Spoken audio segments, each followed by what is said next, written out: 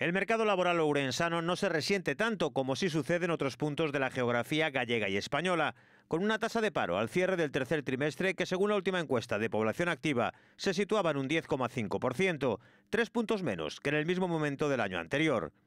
Esta mejoría se deja sentir también en la tasa de ocupación, que roza el 43%, siendo todavía la más baja de Galicia.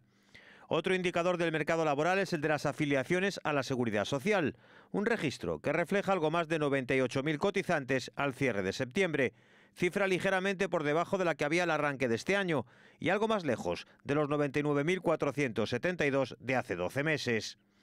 Por otra parte, la pandemia también ha pasado factura a la actividad exterior de las empresas ourensanas, que en los últimos ejercicios se había convertido en un importante estímulo, frenado casi en seco por los efectos del confinamiento de primavera, aunque la apertura gradual de la economía ha empezado a permitir enseñar de nuevo músculo a nivel exportador, con la esperanza de seguir ganando terreno. A expensas de conocer los datos de paro registrados esta semana, la última EPA reflejaba que Ourense es capaz de reducir considerablemente la tasa de desempleo, situándola, como decíamos, en un 10,5%, un registro que no se veía en la provincia desde 2009, cuando el porcentaje empezaba a dispararse por la anterior crisis económica, tras unos años en los que se había conseguido rebajarla hasta el 5%.